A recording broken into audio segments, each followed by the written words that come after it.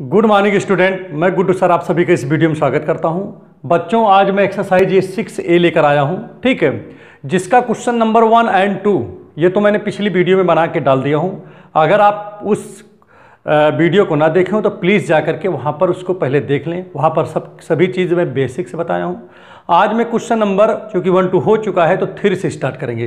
तो चलिए स्टार्ट करते हैं, लेकिन स्टार्ट करने से पहले अगर आप हमारे चैनल पर नए हैं तो प्लीज़ चैनल को सब्सक्राइब करें लाइक करें शेयर करें, और बेल आइकन की बटन को अवश्य दबाएँ, ताकि हमारे द्वारा जितने भी वीडियो बनाए जा रहे हैं, वो सीधे आप तक पहुँच सके।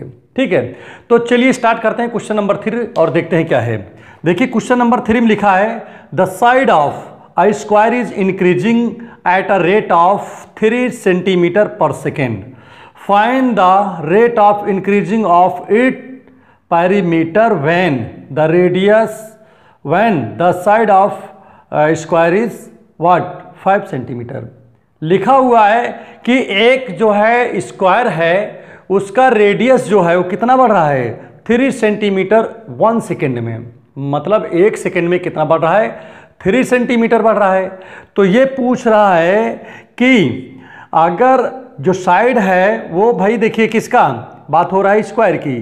तो स्क्वायर का जो साइड है, वो थ्री सेंटीमीटर पर सेकेंड अगर बढ़ रहा है तो बताइए find the rate of increasing of its perimeter तो ये बताना है कि इसका पैरीमीटर की इंक्रीजिंग रेट क्या होगी, जब स्क्वायर का जो साइड है, वो फाइव सेंटीमीटर हो। ठीक है? तो यहाँ पर पहली बात तो पैरीमीटर और स्क्वायर की बात चल रही है। तो चलो पहले लेट कर लेता हूँ कि स्क्वायर को किससे मतलब रेडियस को किससे डिफाइन करें और पेरीमीटर को किससे डिफाइन करें। तो चलिए यहाँ पर पहले यही काम कर लेते हैं। तो यहाँ लिख, लिखते हैं क्या? ये क्वेश्चन नंबर थ्री है। लेट देखिए x and P be the be the side of, side and लिखिए, side and perimeter perimeter of square of square okay respectively respectively ठीक है? ये मान लेता हूँ कि जो स्क्वायर है, उसका जो साइड है, वो एक्स है और पैरीमीटर जो है वो पी से डिफाइंड किया गया है। क्लियर हो गया नहीं हो गया अब यहाँ पर देखिए गिवन में क्या है। गिवन में कह रहा है कि जो इसका साइड है, वो किस रेट से बढ़ रहा है? थ्री सेंटीमीटर पर सेकेंड बढ़ रहा है। तो मतलब इसमें क्या गिवन में है? D x upon d t equal to three centimetre per second. अगर जैसे रेडिया देखिए इंक्रीजिंग रेट अगर कभी पूछे किसी का भी तो आप उसके सामने डी अपॉन डी टी लगा दिया करो। ठीक? जैसे कहा जाए कि इंक्रीजिंग रेट ऑफ़ एक्स तो d x upon d t ठीक? या इंक्रीजिंग डिक्रीजिंग अगर रेट की बात कहे आपसे ठीक है इंक्रीजिंग रेट या डिक्रीजिंग रेट तो आपको डी अपॉन डी टी उसके सामने लगा देना जिसके बारे में बात हो रही है। जैसे एरिया के बारे में बात हो रहा हो, और एरिया आपका ए है, और वहाँ पर आपसे कह दिया जाए कि इसकी इंक्रीजिंग रेट आप बताइए, या डिक्रीजिंग रेट तो इसका मतलब आपको क्या बताना है वहाँ पर? D A upon d t ठीक है एस कहीं लिखा है, कहा कि इसका इंक्रीजिंग रेट या डिक्रीजिंग रेट बताइए तो इसका मतलब क्या है?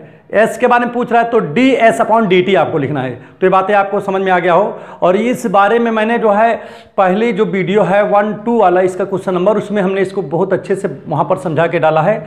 वहाँ अगर ना देखे हो तो उस वीडियो को ज़रूर देखें आप। ठीक है? तो ये बातें आपके अब समझ में आ गया होगा कि गिवन में क्या दिया है।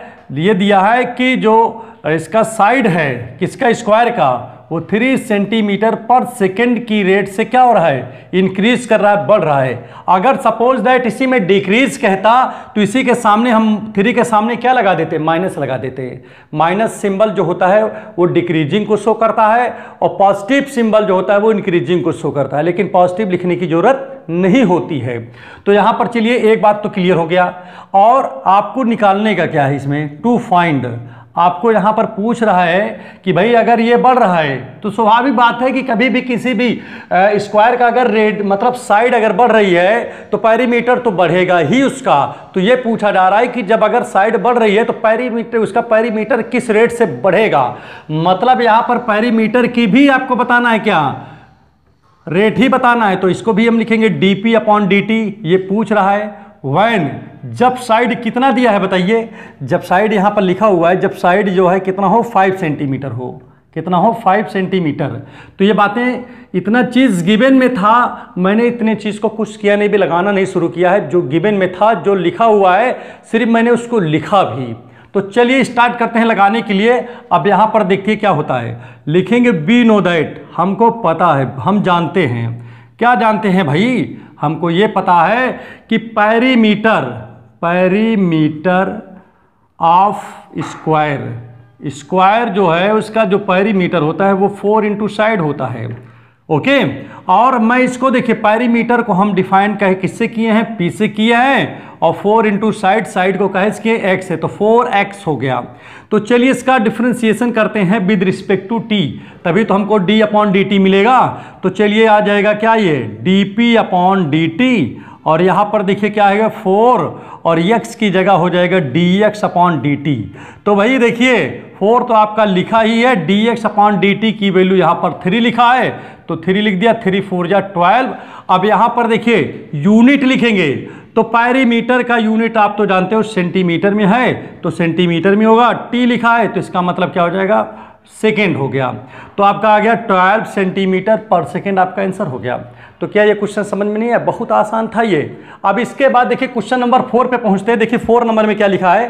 फोर में लिखा है the side of square is increasing यहाँ भी देखिए क्या लिखा है? साइड के ही बारे में लिखा हुआ है। लिखा है the side of the side of square is increasing at a rate of four centimetre per second find the rate of increasing of its area its area when the side of square is ten centimetre. आपकी बात देखिए, यहाँ पर side और square के बारे में आ गया आपकी आपकी वाले क्वेश्चन में। इसके पहले वाले में देखिए, इसमें क्या था? साइड और पेरीमीटर में था। तो सेम यही काम करेंगे। बस क्या है किस देखिए लिखा, जैसे लिखा हूँ मैंने क्या? Let x and P P की जगह पे चूँकि स्क्वायर, यहाँ पर एरिया की बात हो रही तो ए कर दीजिए। Let x and A be the side of side and area आप लिखना पड़ेगा पैरीमीटर की जगह। क्या लिख देंगे आप? एरिया ऑफ़ स्क्वायर रिस्पेक्टिवली और गिवन में देखिए क्या कह रहा है? कि इसमें यह कह रहा है कि जो the side of I square is increasing at a rate of four centimetre per second और पहले वाले में कितना था? थ्री था। तो यहाँ थ्री लिखे हैं। अब की वाले में फोर सेंटीमीटर आ गया। ठीक? इसमें क्या पूछ रहा है? कह रहा है, तब एरिया किस रेट से बढ़ेगा? तो मतलब क्या हो गया? D A upon d t पूछ रहा है। और यहाँ पर देखिए, जब साइड इसमें भी फाइव था, इसमें साइड कितना दिया है?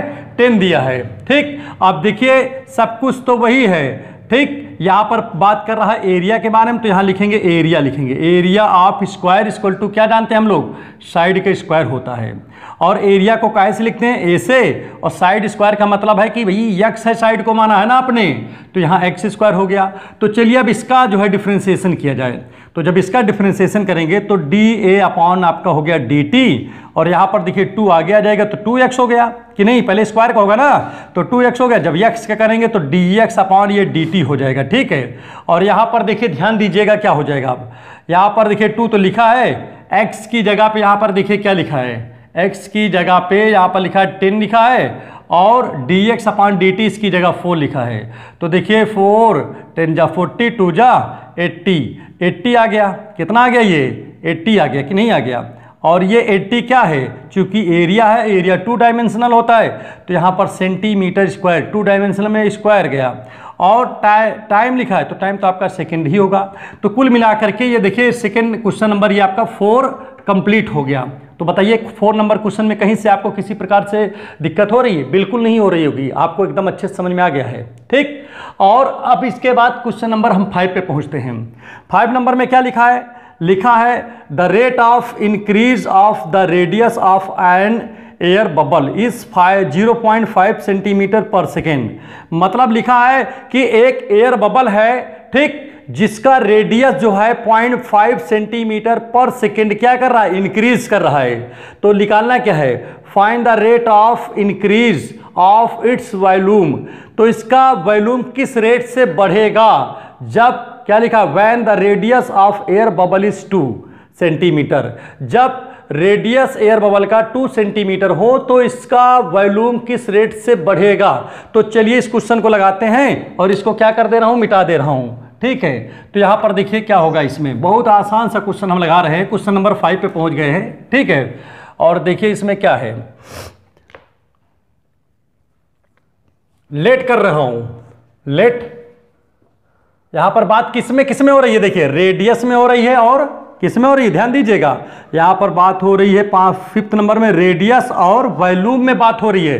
तो रेडियस और वैल्यूम ही यहाँ पर लिखेंगे। Let r and v be the radius and volume of air bubble air bubble ठीक है? गुब्बारा. ठीक? बबल मीन्स अब यहाँ पर आप रिस्पेक्टिवली रिस्पेक्टिवली क्लियर हो गया, नहीं हो गया? और अब यहाँ पर चलिए तो बात तो क्लियर हो गया कि बात हम इसमें कर रहे हैं तो इसीलिए यहाँ पर लिख दिया। अब देखिए गिवन में क्या है? गिवन में इसमें लिखा हुआ है कि जो रेडियस है इसका, वो 0.5 सेंटीमीटर पर सेकेंड की रेट से बढ़ रहा है। तो मतलब इसमें रेडियस बढ़ रहा है। तो मतलब d r upon d t जो है, वो है 0.5 सेंटीमीटर पर सेकेंड इसका मतलब ये हुआ कि एक सेकेंड में 0.5 सेंटीमीटर बढ़ रहा है। कौन? रेडियस बढ़ रहा है, क्योंकि इसके सामने प्लस है। या कोई साइन नहीं लिखा है तो इसका मतलब इस यहाँ पर क्या होगा? प्लस होगा। अगर यहीं पर मैं माइनस लिख देता तो ये निगेटिव हो जाता। इसका मतलब ये घट रहा है। ये डिक्रीज करने लगता है, यहाँ पर रेडियस क्लियर हो गया, नहीं हो गया? और आपको निकालने का क्या है भाई? यहाँ पर आप निकालोगे किसको? यहाँ पर कह रहा है कि किस रेट से? अगर एक चीज़ ये भी आप समझ लीजिए कि कभी भी जब कोई भी मान लीजिए बबल है, जैसे मान लीजिए एयर बबल है, अगर उसका रेडियस बढ़ रहा है तो उसका वैल्यूम भी बढ़ेगा। भाई, बढ़ेगा ही नहीं बढ़ेगा। भाई, कोई चीज़ अगर बड़ा हो रहा है तो उसके बाकी चीज़ें भी तो बड़ी होंगी ना उसमें। तो यहाँ पर ध्यान दीजिएगा, यहाँ पर पूछ रहा है कि जो वॉल्यूम है वो किस रेट से बढ़ेगा? तो मतलब d v upon d t पूछ रहा है, कब? जब आर की वैल्यू कितना है? ध्यान दीजिएगा आर की वैल्यू टू सेंटीमीटर है। ठीक? चलिए ठीक। ये क्वेश्चन आपके अच्छे से समझ में आ गया कि मैं क्या बोल रहा हूँ, इसीलिए मैं पढ़ के आपको सुना भी दे रहा हूँ। ठीक है?